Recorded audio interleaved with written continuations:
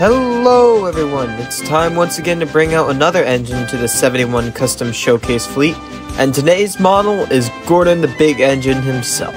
Let's get into it. I bought my first Gordon model back in 2021. It was from my friend Flying Scott Films, or Dax, who had painted him in a BR blue and never bothered to finish him. The plan was to reuse the Bachmann shell, but paint it to be more like the show. I eventually did complete the shell, but I didn't like the way it looked.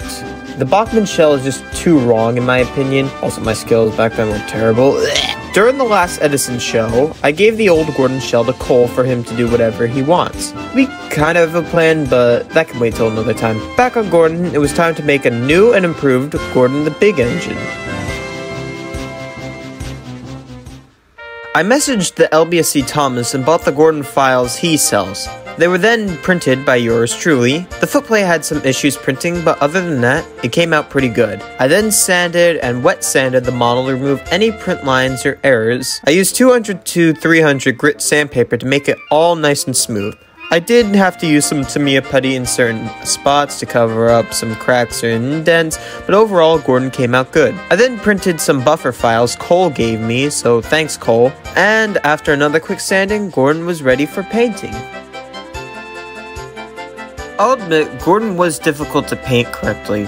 For one, because I live in the New England area of America, it's either always windy or cold. It was both that day. Bruh. I painted the shell in the same blue I used for Thomas, and then used the Rust-Oleum matte black to paint his smoke box. The footplate was a nightmare to paint. Here's how it went down.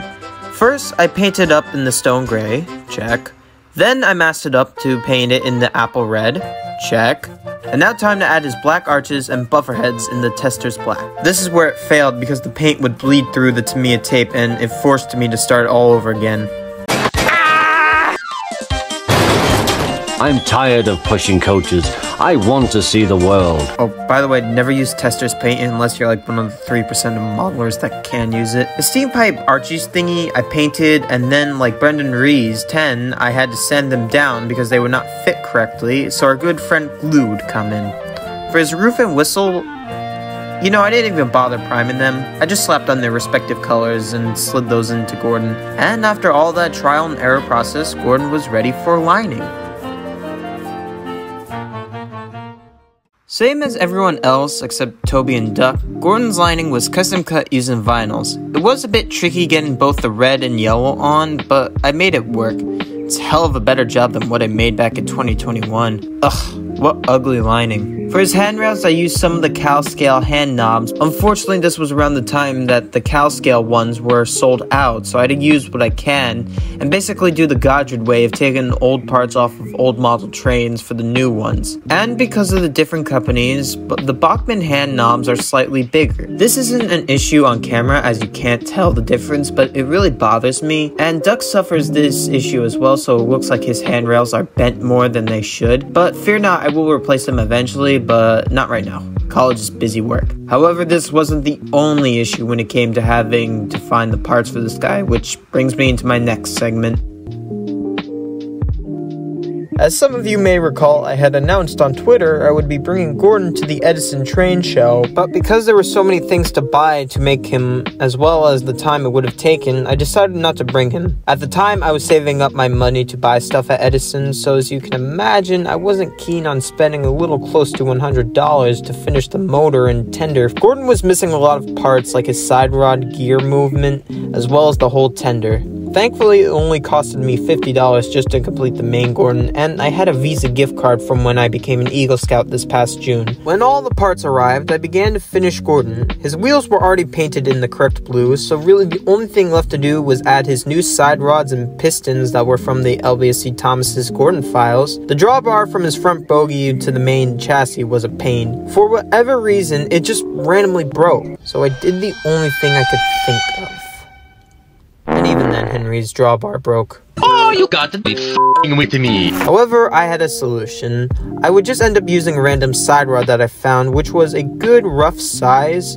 I'll have to go back and get the proper part because this one is a tiny bit too long. To the camera, it's fine, but because I have an eagle eye for this sort of thing, it really bothers me. The last step was to cut down the back bogey wheel to better match the shell. It was then glued down with super glue, and boom! Gordon's main shell was done. Thanks, Michael, for your help, by the way. Now, on to the tender. After getting back to work and getting the numbers in my bank account up again, I would order a brand new Gordon tender. Once it arrived, I gave it a quick sanding. The underside I took and sprayed it black to get rid of that ugly gray. Like all other Gordon customs, the tender was modified from the initial Bachmann mold, so the same would be done here. I borrowed my friend's Dremel tool as mine was in New Jersey. Surprisingly, making the cut turned out alright. It was the stuff afterwards that wasn't alright. To make the tender more show accurate, I would need plastic card, or styrene sheets, or whatever you want to call them. The problem was I had left them in New Jersey and didn't want to spend another $16 on Amazon to get new ones. So I would go to my favorite place, Michael's. I couldn't find the plastic card, but I found this substitute card. Surely this would work, right? It did, but then there were some errors I noticed and then it fell apart.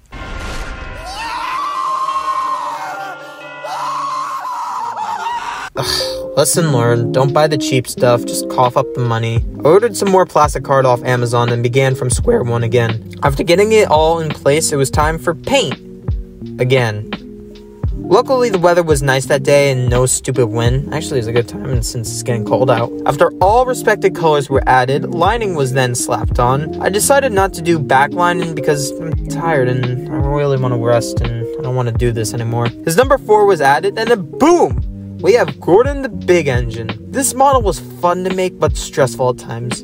I find myself rushing these projects and videos so they don't always look the best, but with Gordon, I'm actually satisfied with both. I took the time and then experimented editing this on my laptop instead of my phone, and while it's a much more slower pace for me, I kind of like it more. So yeah, I think I'll be doing this from now on, but that doesn't mean I'm to stop making these videos. It's just to take longer. I have a couple more videos in the works, so be on the lookout for them. Gordon, I definitely want to fix some things down the line, but overall, I'm satisfied with him. If you want to make one for yourself, you can message the LBSC Thomas and buy the files from them directly. Or if you want them printed, I would recommend going to my friend Mixed Traffic Engine 206. He has all the up-to-date files for every Noah Train file, plus he gives out good deals, so I would highly recommend him. Well, that seems to be all the time I have for now. This is LBSC 71. Ciao, folks. Hello, Gordon. Did you lose your blue? No, you lost your red paint. What, me? Oh, fuck.